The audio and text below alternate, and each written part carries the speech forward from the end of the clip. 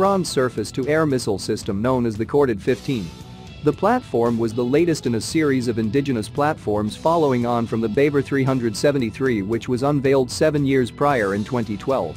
The platform is reportedly equipped with a passive phased array radar and is capable of locking onto fighter jets, stealth targets and cruise missiles.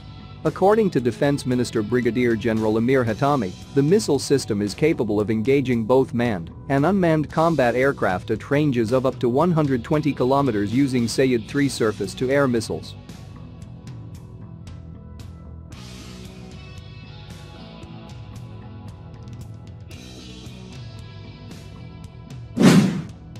The platform is also reportedly capable of tracking radar evading stealth targets and intercepting them at ranges of up to 45 kilometers and can engage up to six targets simultaneously. F-35A stealth fighters were recently deployed by the United States Air Force to the Middle East and around a dozen are currently in service in the Israeli Air Force out of 50 ordered and a further 25 planned.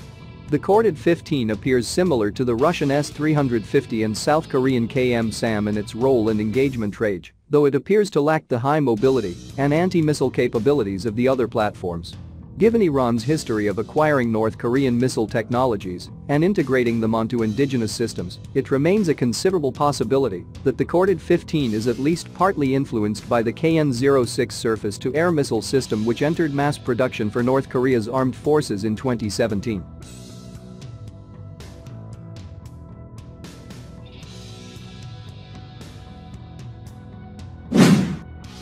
The platform is expected to use an advanced cold launch system like the KN-06 and Russian S-400, although this has yet to be confirmed. Iran's aerial warfare capabilities have long left much to be desired, with only two of its Air Force's 17 fighter squadrons equipped with modern long-range air-to-air missiles, a lack of fortified emplacements for its air defense assets comparable to those of Russia or North Korea, and only a small number of S-300 PMU-2 batteries capable of providing a modern air defense capabilities. These platforms are over two decades old, and with the ability to engage only 32 targets simultaneously they are prone to being overwhelmed unless receiving considerable support from complementary systems.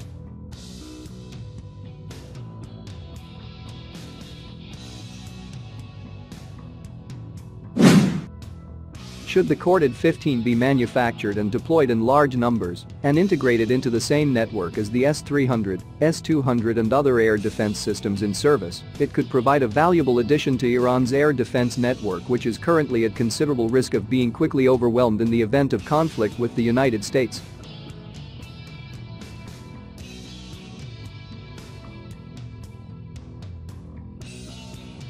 The platform is no substitute for more fighter squadrons with better equipment or for an advanced long-ranged air defense platform such as the S-400 which has 333% the range and 1,333% the target engagement rate of the Iranian system, access to hypersonic missiles and considerably superior counter-stealth capabilities.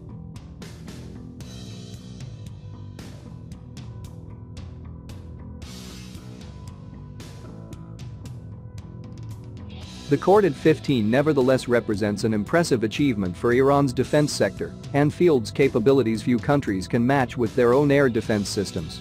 The unveiling of Khordad 15 air defense system and the production of precise and tactical missiles is turning point in Iran's missile capabilities, according to Press TV.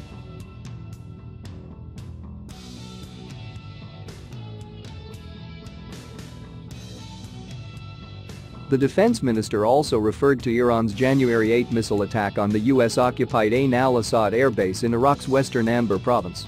The strike came in retaliation for Washington's assassination of Iran's prominent anti-terror commander Lieutenant General Qasem Soleimani upon his arrival in the Iraqi capital at the invitation of the Baghdad government. U.S. forces initially reported no casualties, but it later emerged that at least 110 soldiers sustained traumatic brain injuries, TBIs.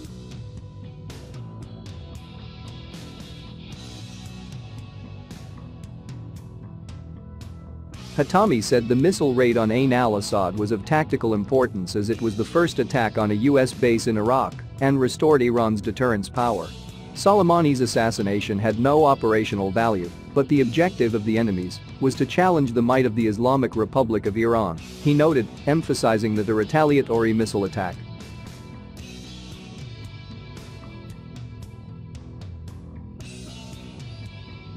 which had been conducted with the prudence of leader of the Islamic Revolution Ayatollah Sayyid Ali Khamenei and following public demand, destroyed Ain al-Assad and gave a crushing response to the enemies.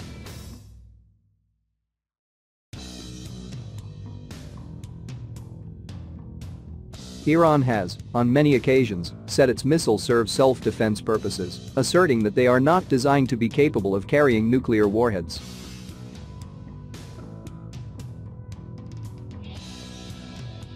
In November, a Pentagon research study hailed Iran's achievements in its ballistic missiles program despite decades of Washington-imposed sanctions, saying its arsenal is larger than that of any other Middle Eastern countries.